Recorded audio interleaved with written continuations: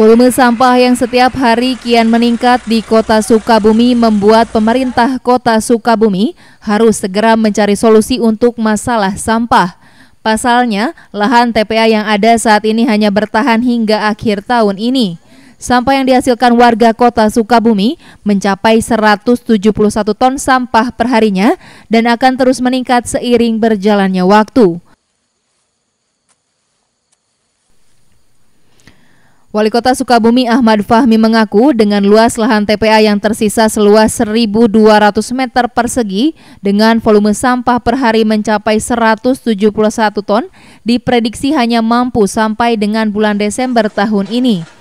Pihaknya terus melakukan upaya untuk menanggulangi keterbatasan lahan tersebut dengan melakukan pembebasan lahan di sekitar TPA. Pembebasan tetap harus kita lakukan. Sekarang kita sedang komunikasi dengan pemilik lahan sehingga kita bisa melakukan pembebasan lahan. Yang kedua, kita lakukan juga teknologi. Insya Allah Pak Kadis juga akan ke Bogor ada teknologi yang bisa mengurangi volume sampah sampai 100 ton per hari. Kemudian yang ketiga yang terpenting itu kesadaran masyarakat yang harus kita tingkatkan bahwa sampah masalah bersama dan mengatasi sampah harus mulai dari keluarga. Sementara itu, Kepala Dinas Lingkungan Hidup Kota Sukabumi Adil Budiman mengungkapkan pihaknya sudah melakukan komunikasi dengan pemilik lahan, namun terkendala harga yang ditawarkan dinilai terlalu mahal. Lahan sudah ada ya, cuma kan masalah di harga ternyata kan si pemiliknya kemarin ngobrol-ngobrol hampir mintanya 80 miliar. Itu berapa luasan? Ya untuk luasan memang luasannya hampir 30 hektaran ya.